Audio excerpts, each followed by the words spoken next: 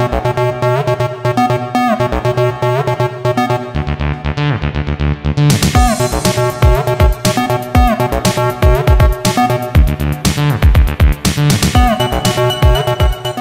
Archer, we knew the technology would change how cancer was detected, diagnosed, and treated.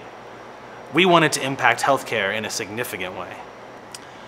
Like most startup companies, Archer initially employed one person. That was me. Within a few months, we grew to eight people, and now, two years later, we're over 100 people. Our employees are passionate about the fight against cancer. Like the technology, the company was purpose built to have an impact on cancer. Archer is very different. We took a holistic approach. We developed not only the test, but the software package that allows analysis of the test. We planned something that no one else in the sequencing field ever attempted. Most companies try to either develop NGS assays or NGS data analysis tools. But that wasn't us. We set out to make a plan to develop both.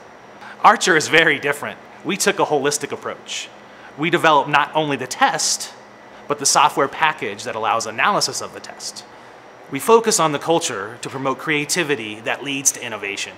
Because of the culture, because of the innovation, because of the massive growth in the number of employees, we took our test from its original version to now a much more advanced version. This advanced version is having a significant impact on cancer. Our advanced test is more accurate. It can find multiple mutations and mutation types that other tests can't find.